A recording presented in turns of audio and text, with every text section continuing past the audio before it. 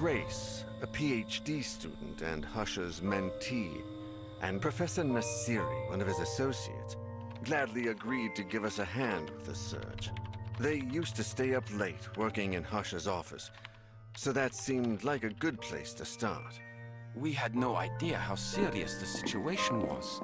If we'd known about his family, those poor children. I hope we can at least find out what exactly he was after and where he went. There are some papers on his desk that haven't been touched since he left. We have a good chance of finding something there. Lately, I feel like something odd has gotten into Professor Husher. I mean, apart from his usual oddities. He seemed anxious about something and looked like he hadn't slept properly in days. No offense, Mr. Noyer, but it looks like it's the same for you. Don't worry, none taken. I'm well aware. This is his desk. As you can see, there are a bunch of documents he uses as research for his novels. It's all here. We better take a look at his computer and the shelves, too. The sooner we get started, the sooner we'll find something out. Look at this here. There are some notes where he mentions the music box, but I can't quite understand what he means. AA375 is underlined. AA, uh, that's how the documents in the donations and biographies archive are designated. Maybe he was looking for something there. Biographies. Let's start with the archive, then. Where is it? Donations and biographies are on the basement level. I'm sure it will be closed, but we can easily find the janitor or a key. It's not a very busy area.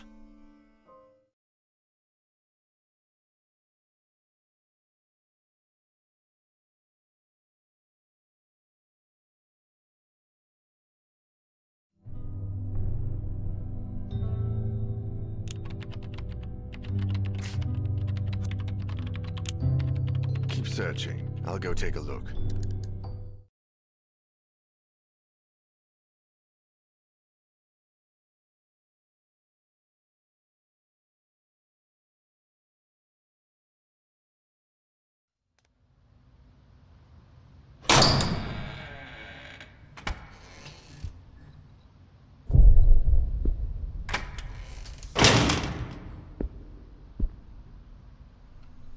All right, where should I start? Mhm. This note. Is this a fucking joke or what?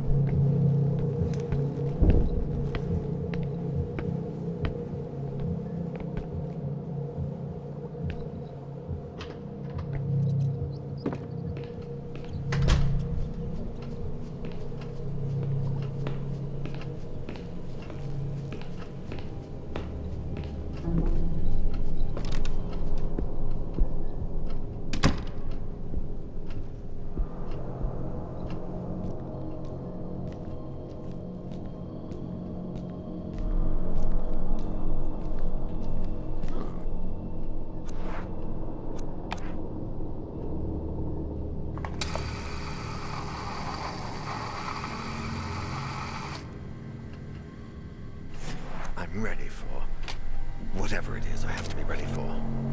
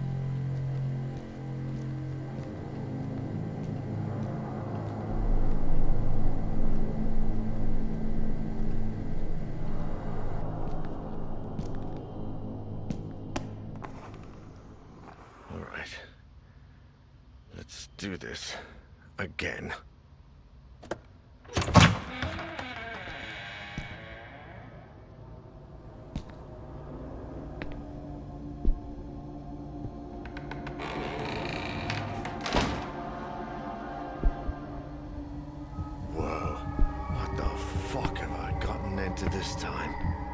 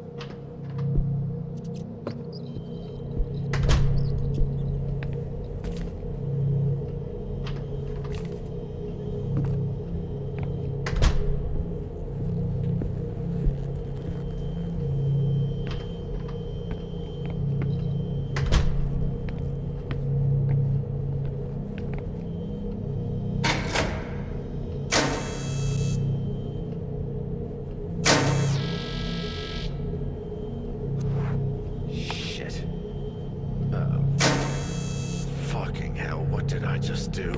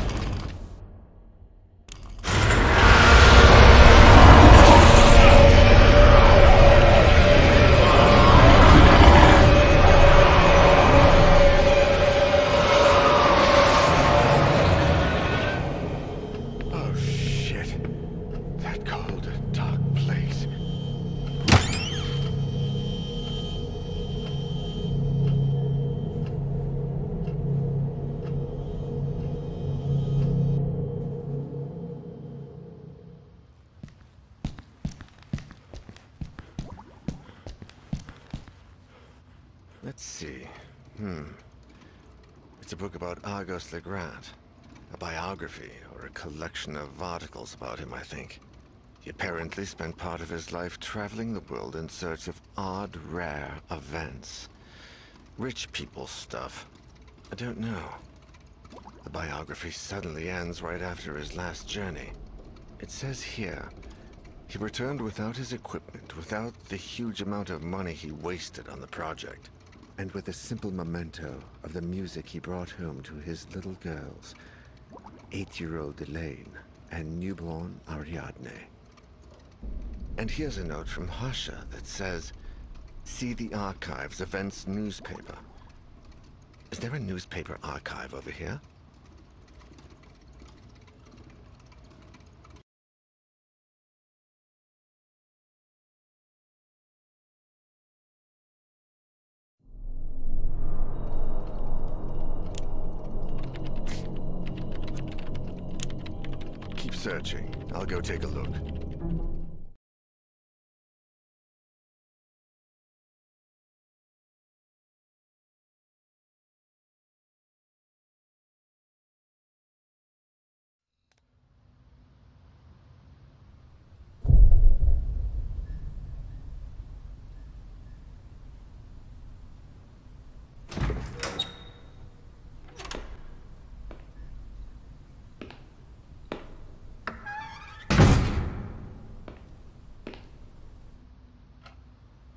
Find out what newspaper Husher was looking for.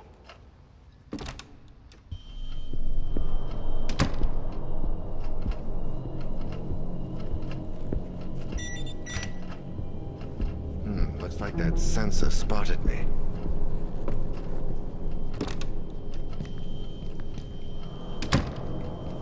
There's something on that table.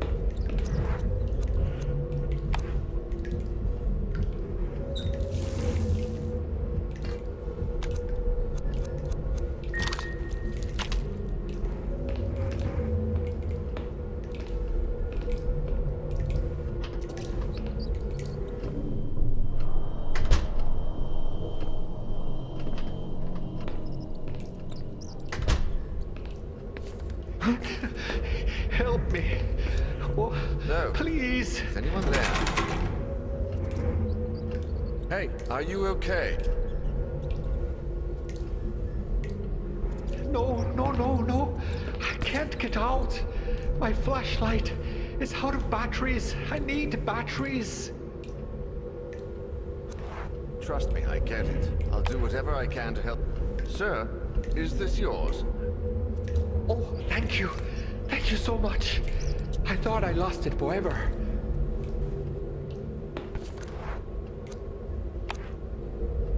Hey, I found your batteries. Oh, thanks. It's so dark in here. So dark.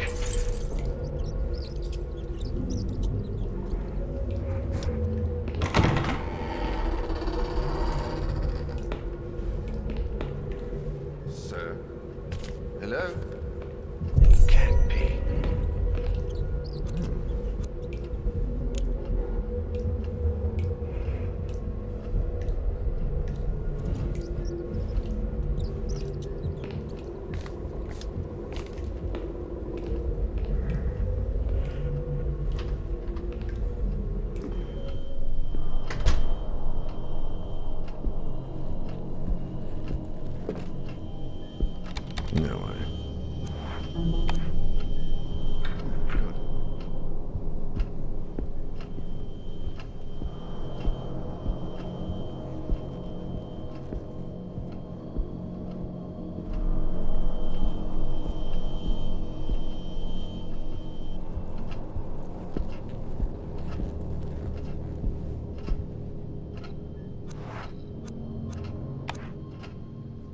Just wait and see. It's going to turn out great.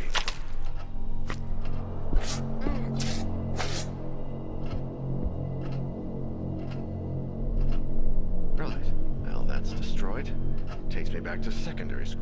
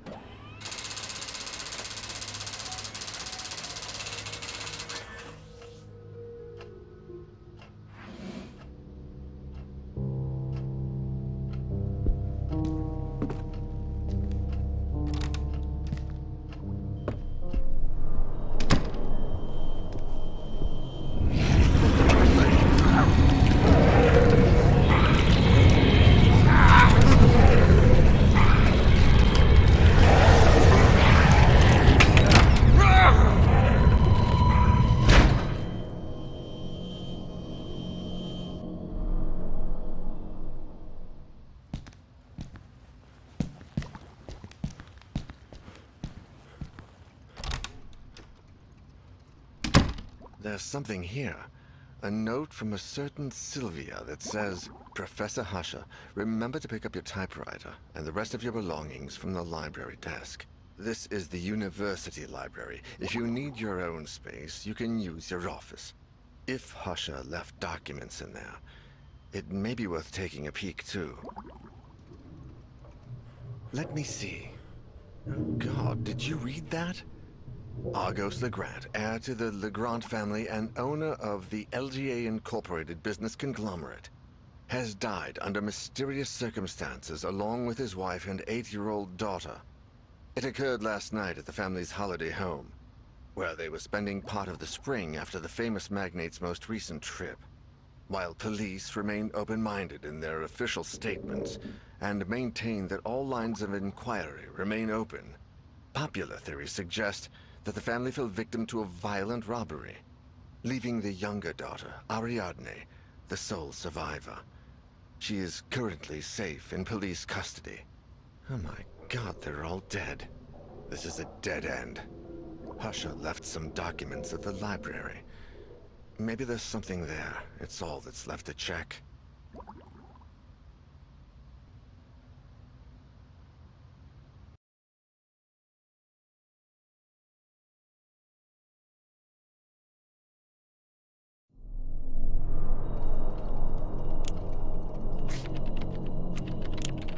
Keep searching. I'll go take a look.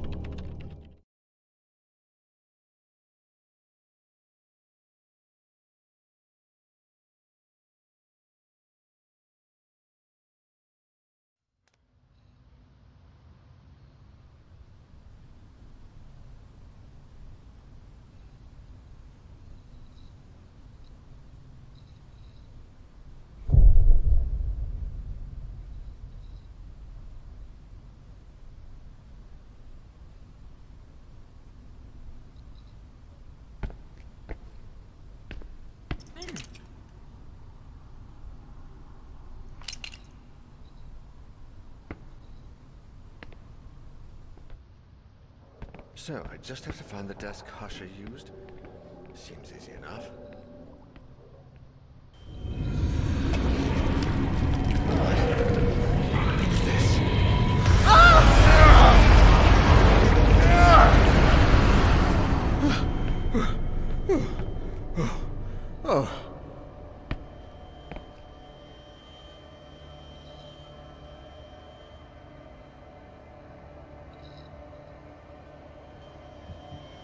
Fuck.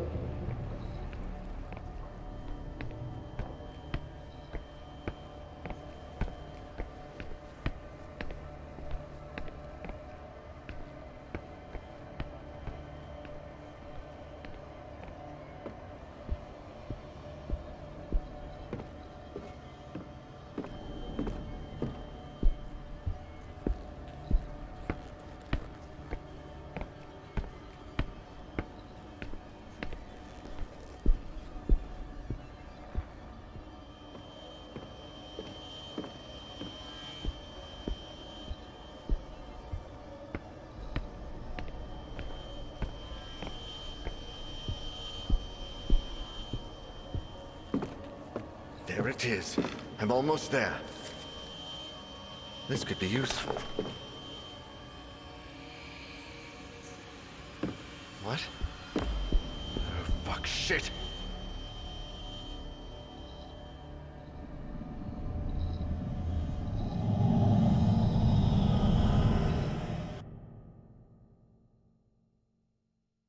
Another book about Argos Legrand in the library. A compilation of research trips written by two of his associates in the early 1900s. Sinister Nature was a kind of narration of Legrand's frustrated trips in search of paranormal phenomena, with one of the last pages marked by Husher, the cursed concert, St. Cecilia's Abbey. St. Cecilia, the patron saint of music. I'm not sure what Husher wanted when he set out in Legrand's footsteps, or how long he planned on doing it. But it was a start. The best place to start looking before it gets too late.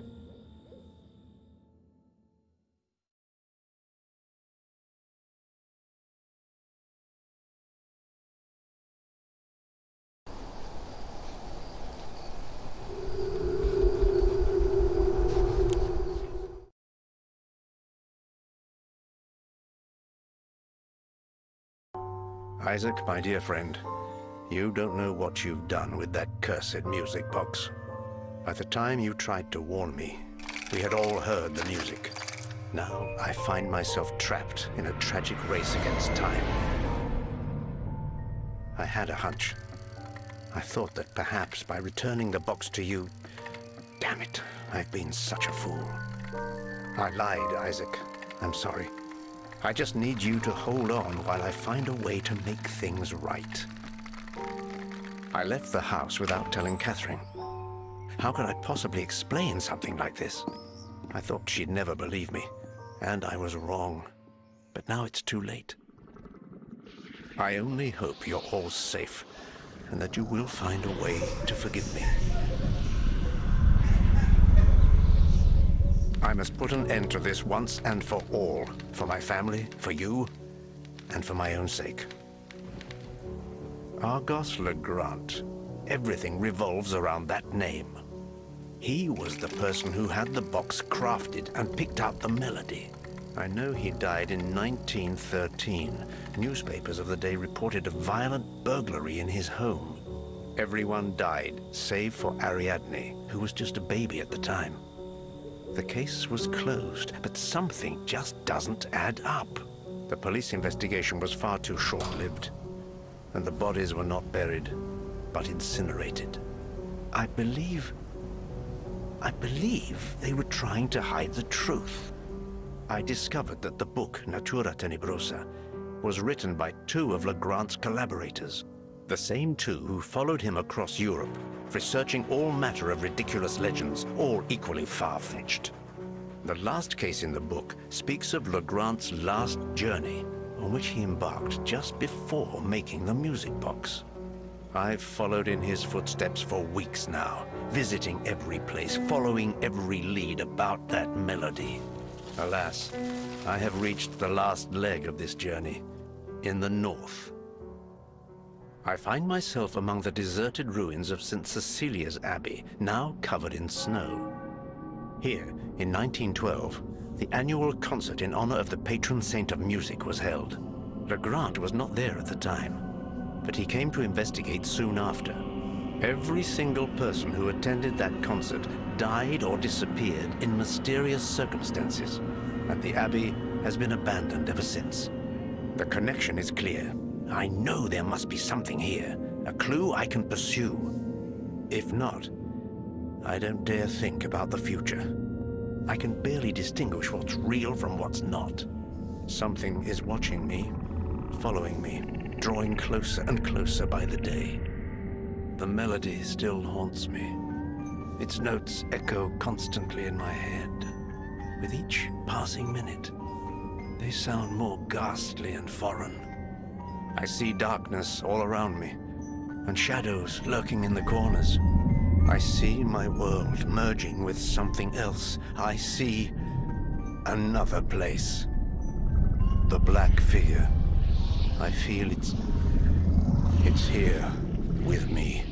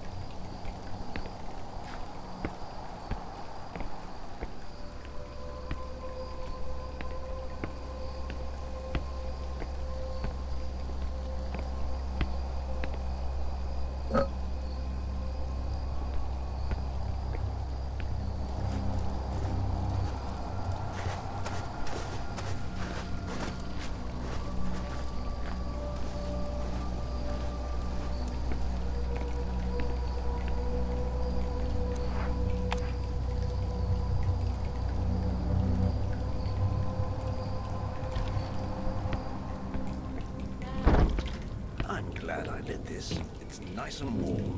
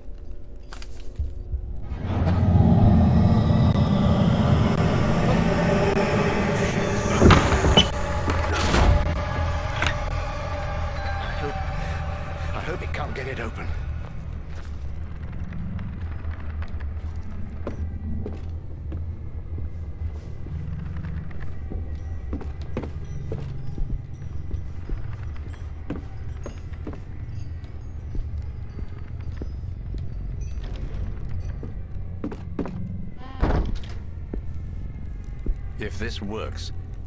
Let's see how much I have left.